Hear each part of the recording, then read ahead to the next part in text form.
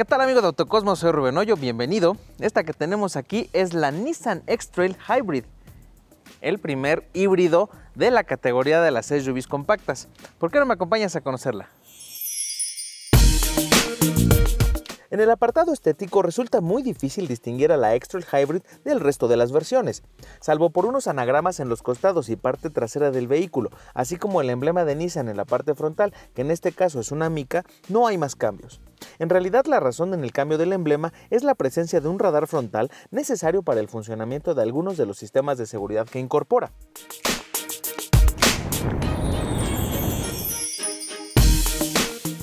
Pues ya tras el volante, amigo de Autocosmos, lo más destacado, evidentemente, aquí es el tren motriz. Se trata de un 2 litros en lugar del 2.5 que ya conocíamos, con 140 caballos, 144 libras de torque, que se complementa con un motor eléctrico de 40 caballos y 118 libras. La potencia combinada de todo el conjunto es de 176 caballos, adecuado. Y la batería es de iones de litio, va montada en el área de carga de 35 kilowatts. No es un plug-in hybrid,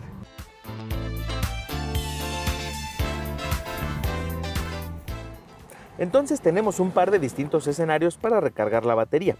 El primero es a través del sistema regenerativo de la frenada y que al mismo tiempo se traduce en un pedal de freno que transmite una sensación esponjosa y ligeramente desagradable, con un recorrido además muy largo. Y es que al frenar, el pedal se hunde con facilidad y sin presentar la firmeza que nos gustaría. Aunque esto no significa que la X-Trail Hybrid no tenga buena capacidad de frenado. Al oprimir el pedal con contundencia, se detiene de manera efectiva, es solo que al emplear esta tecnología el pedal se comporta diferente. Cuestión solamente de acostumbrarse. La otra manera para recargar la batería es al transitar por pendientes, en donde un clutch desconecta al 2 litros de la caja para entonces permitir que el motor eléctrico funcione como un generador. De acuerdo con Nissan, la X-Trail Hybrid entrega un rendimiento de 17 kilómetros por litro en ciudad, 17.1.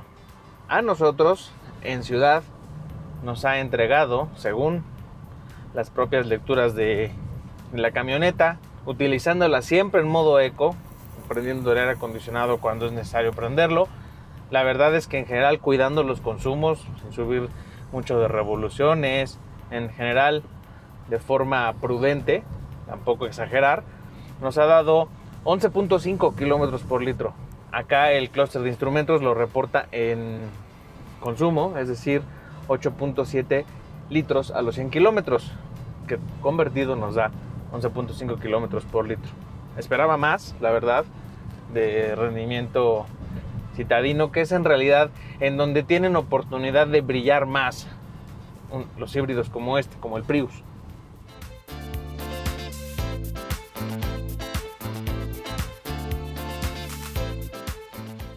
Incluso algún colega me comentó durante el evento de presentación a medios de la Nissan X-Trail Hybrid en la Ciudad de México que él tiene una X-Trail común y ha logrado obtener rendimientos de hasta 11 km por litro.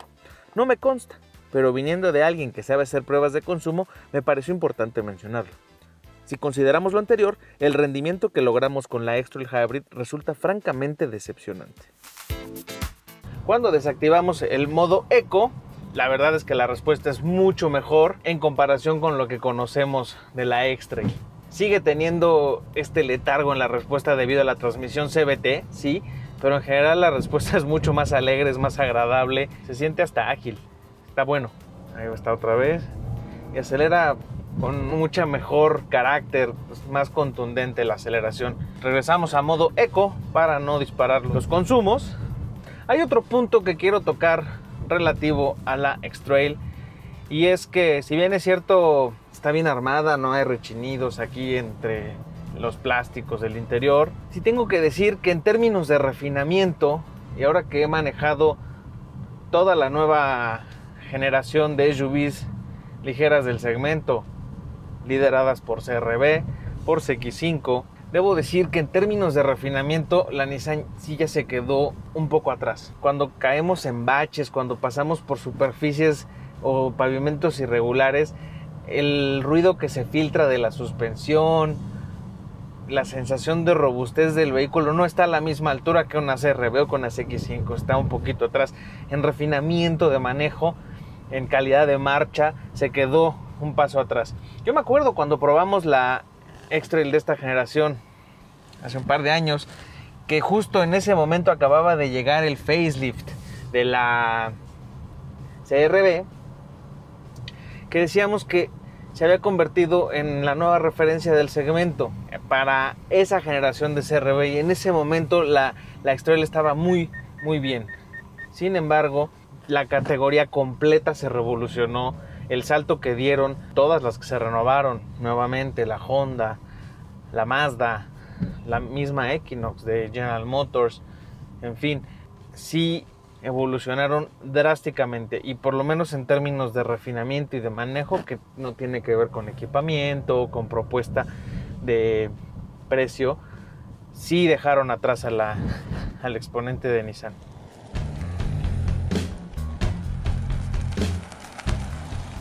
Si hay un aspecto en donde podemos decir que la Nissan X-Trail se pone en lo más alto de su categoría es el de la seguridad. Además de elementos obligados como bolsas de aire, ABS y ESP, encontramos un conjunto de tecnologías de última generación englobadas en un concepto que la marca denomina Nissan Intelligent Mobility, para empezar, ¿recuerdas que había comentado del radar culpable de que ahora tengamos una mica con el logo de la marca en lugar de un emblema? Bueno, su presencia significa que tenemos control de crucero inteligente y frenado automático de emergencia. A esto se le suman monitor de punto ciego, alerta de tráfico cruzado y cámara de 360 grados. Y en el interior, como puedes observar, los cambios con respecto de las variantes no híbridas son difíciles de encontrar en realidad es un botón eco que está aquí en la parte inferior del tablero.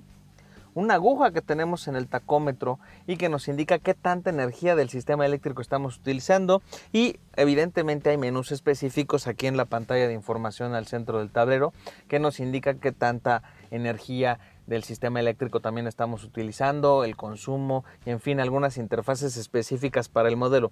Fuera de eso, no hay más cambios, lo cual no es malo. La X-Trail es un producto bien logrado, la atmósfera aquí es agradable, los plásticos son suaves al tacto, los enraces y ensambles están bien. Este ya no es tan de buena calidad como este de aquí, pero en general la atmósfera es adecuada. Quizá un poco lúgubre, es decir, muy oscura. Nos gustaría por ahí alguna combinación de colores más claras, con contrastes como lo que está presentando la competencia en estos últimos tiempos, pero por lo demás es un coche agradable de estar y de manejar.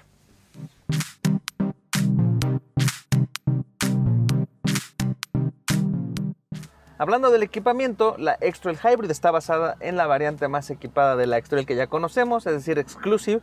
Por lo tanto, encontramos asientos forrados en cuero, estos son estos asientos Zero Gravity que se supone que Nissan desarrolló conjuntamente con la NASA. Volante forrado en cuero, multifunción, con el inferior achatado. Este sistema de infoentretenimiento Nissan Connect con pantalla de 7 pulgadas e interfaces con Facebook, con Twitter, con TripAdvisor, pero no así con Apple CarPlay, Android Auto y estas nuevas interfaces modernas que tanto le gustan a la gente. Otros elementos de equipamiento a destacar, pues el climatizador automático de dos zonas y el quemacocos panorámico que es enorme.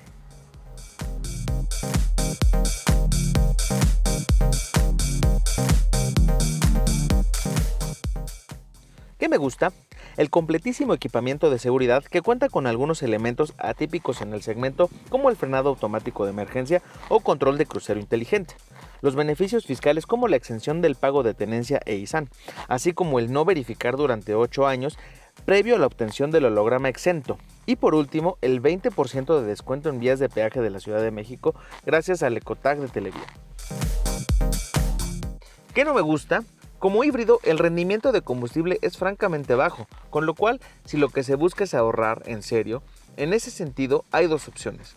Por un lado, optar por un híbrido específico como Prius o Ionic, o bien, si a fuerza tiene que ser una SUV, invertir un 16% más para acceder al Mini Countryman Plug-in Hybrid, que supera por amplio margen a la X-Trail en todos los apartados, autonomía eléctrica, rendimiento de combustible y capacidades dinámicas. En términos de refinamiento y calidad de marcha, la X-Trail se quedó un paso atrás en comparación con nuevos y completamente renovados exponentes del segmento, como la Chevrolet Equinox, GMC Terrain y ya ni decir de las referencias de la categoría, es decir, Honda CRB y Mazda CX5.